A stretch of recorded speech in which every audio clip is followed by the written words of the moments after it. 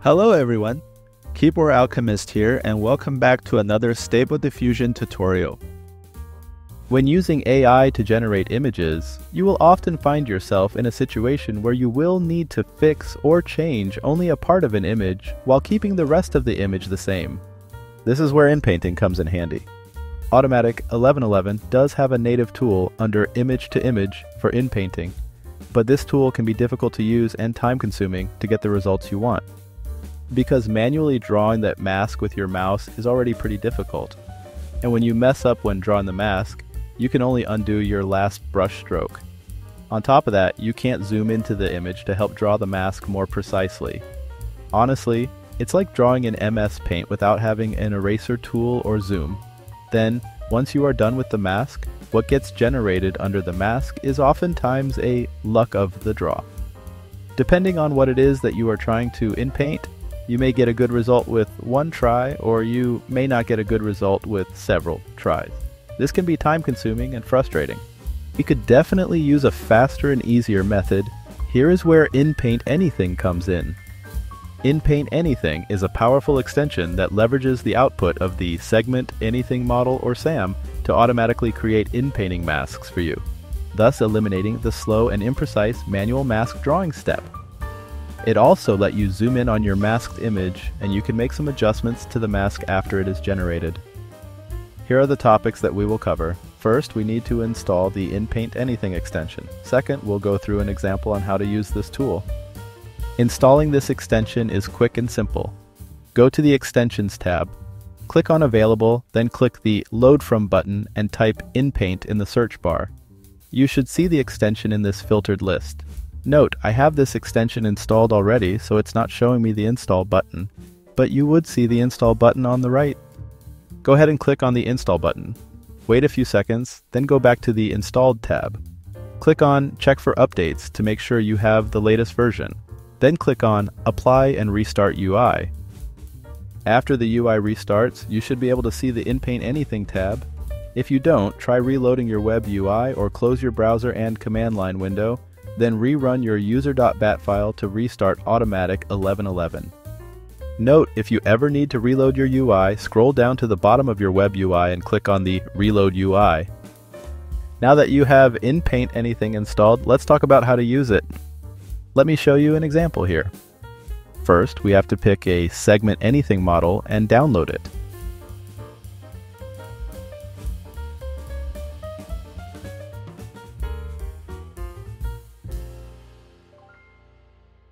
When this is downloading the SAMs for the first time, it could take a couple of minutes because some of the models are 2 GBs.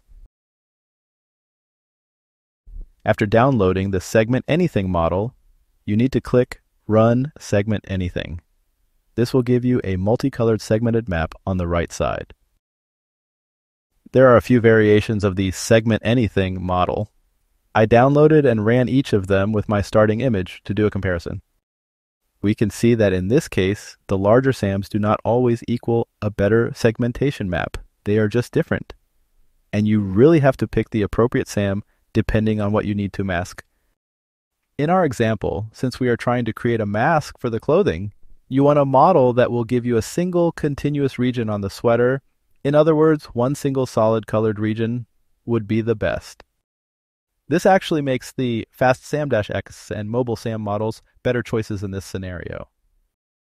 What I'm trying to say is if you segment your image with one model to start with and you see that the segmentation was not ideal, you should try another model.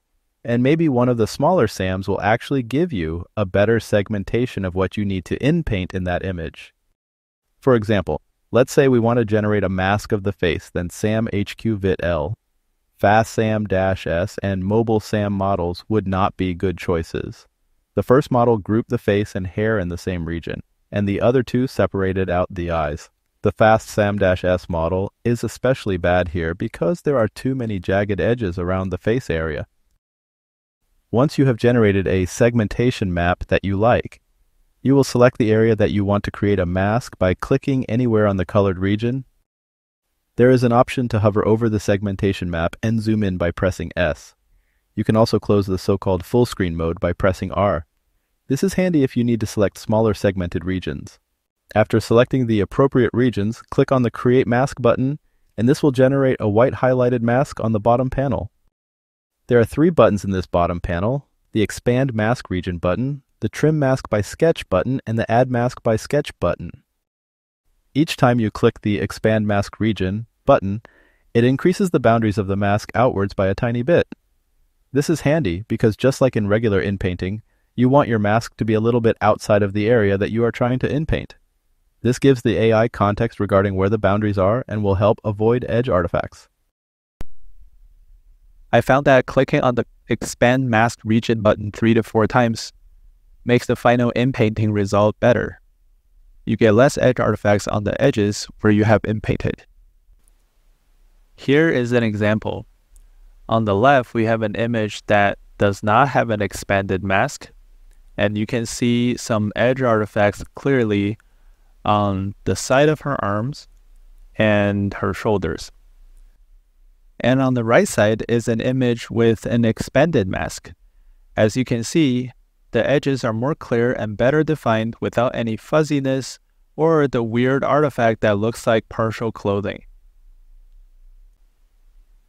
You can use the brush tool to draw on the image.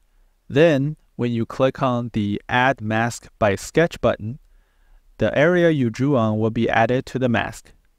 Conversely, if you click on the Trim Mask by Sketch button, it takes away a portion of the mask underneath the areas that you have drawn.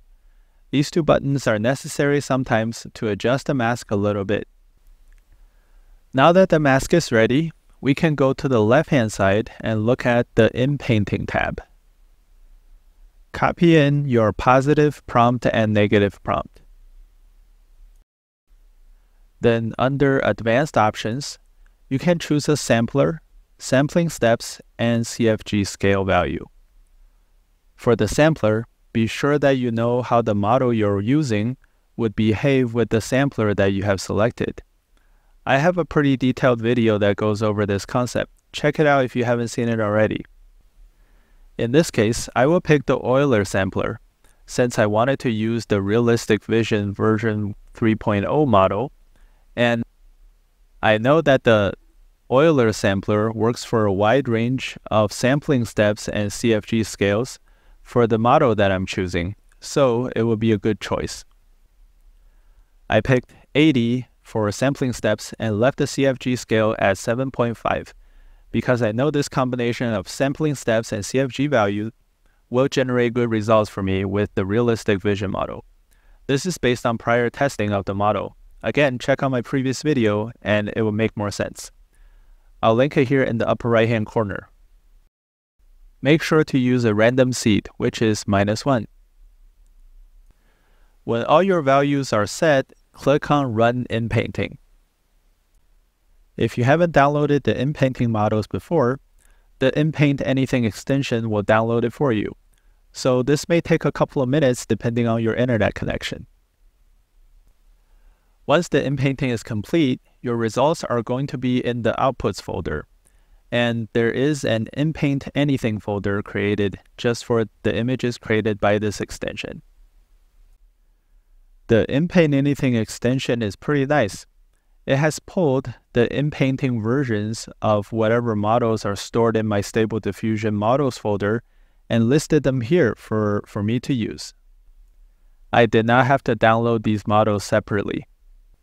In terms of the inpainting models that I have in this list, I found that the default Stable Diffusion 2 in inpainting model is not great. Some of the other inpainting models works a lot better. For example, the Dream Shaper model or the Realistic Vision inpainting model. Of course, you may have a different set of inpainting models available to you, and you want to experiment with what works best for you. Here's an example comparing the Stable Diffusion 2 inpainting model versus the Realistic Vision version 3 inpainting model. In both cases, I used the Euler sampler, 60 sampling steps, CFG scale of 6, and I used Fancy Evening Gown as the prompt and copied over my entire negative prompt from the original image. And as we can see, the inpainted gown on the two right-hand side images are clearly better than the two left-hand side images. Note, these are not cherry-picked results. Let's go through an example where we will change the background and other features of this image. First, I will select a segment anything model that gives me the background in as few regions as possible. Here, I chose the SAM VIT large model that gave me a segmented map like this. And I am selecting as many of the background regions as possible by drawing lines through the colored regions or just putting a dot on them. Don't worry if you didn't get some of the smaller colors or regions, we can fix that in the next step. From the mask that was initially created, it looks like the clothing was also selected. So I will take the brush tool, zoom in on the image, and select the area for the clothing. Then I will click on the Trim Mask by Sketch button to get rid of this part of the mask, leaving only the background. As we can see, there are some small areas in the background that was not initially selected. We can fix this by clicking on the Expand Mask region a few times, and that will enlarge the white masked area to include those smaller missed areas. Okay, I've expanded the mask quite a bit now and it covers the entire background. Now I want to change the background to a beach setting, leaving the negative prompt blank, and under the advanced options, the sampler will still be Euler, sampling steps 80 and CFG value 7.5. Then click Run Inpainting.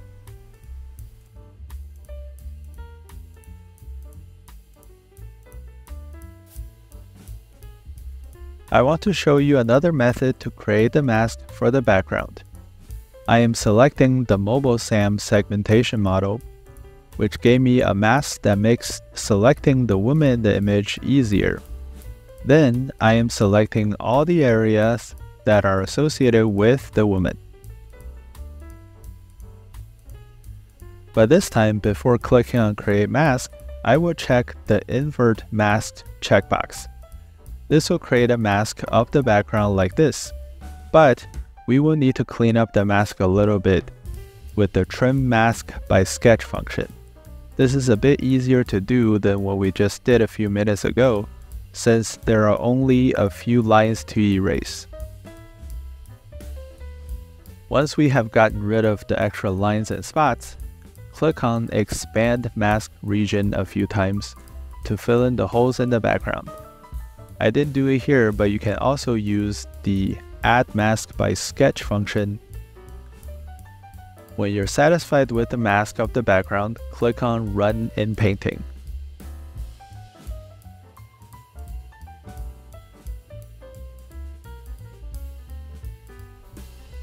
I didn't like this background that was first generated, so I clicked Run Inpainting again to create a new background. The second one is much better. I like the palm tree, ocean, and the sandy beach in the background. Now, let's change her clothing to something that better fits the scenery. I'm going to load the new image into the Input Image section.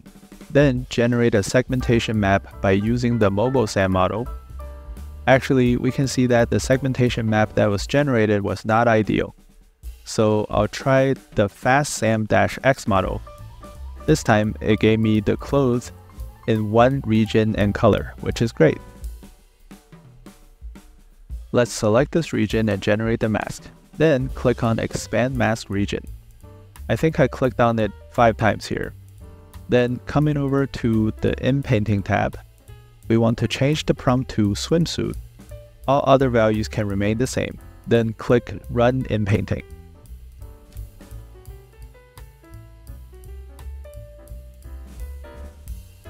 The first generated image looked pretty good, but I noticed there was this white area next to her hair. This was because the mask was a bit lacking in this area, so I needed to expand the mask area a bit more.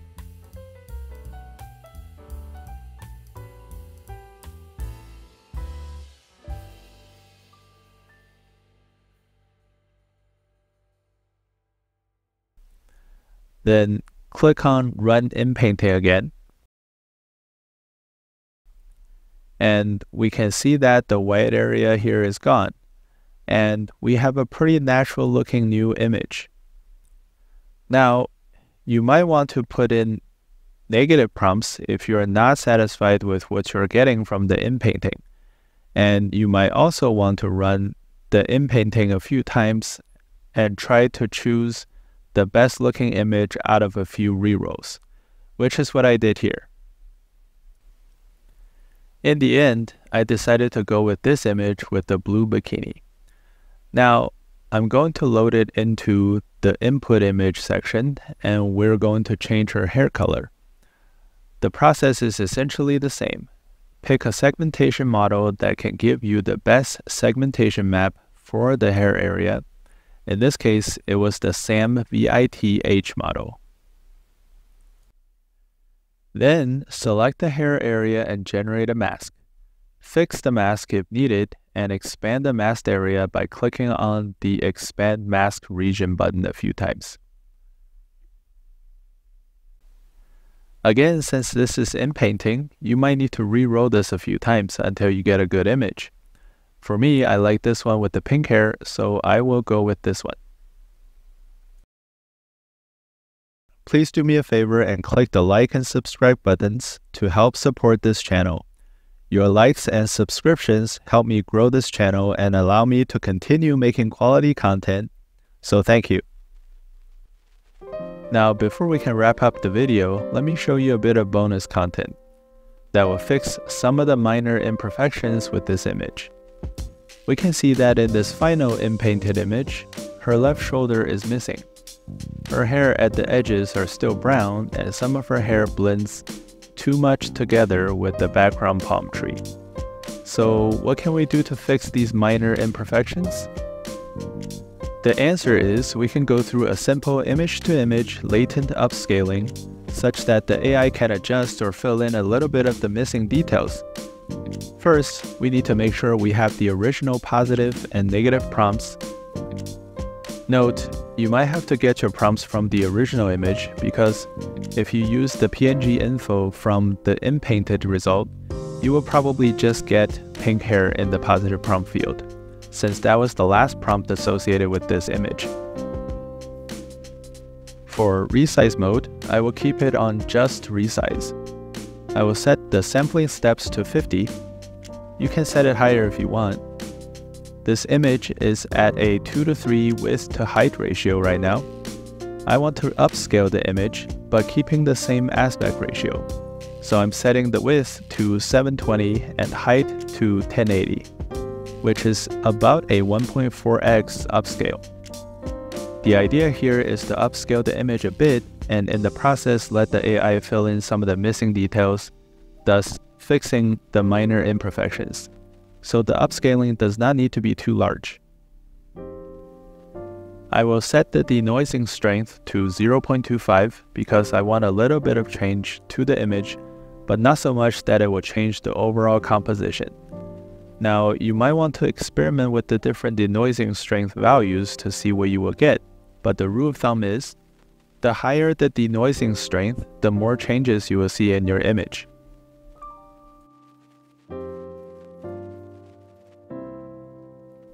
Here I tried 0.25, 0.35, and 0.45. But I compared the three and thought that 0.25 was just right. It fixed the shoulder and the hair issues and added a bit more detail to the image. The other two settings were a bit too much. And that's it. We have just went over how to use the Inpaint Anything extension to change just about anything in an image. But that is only part of what this extension can do. Tune in next time where I'll show you some of the other functionalities of this fantastic extension.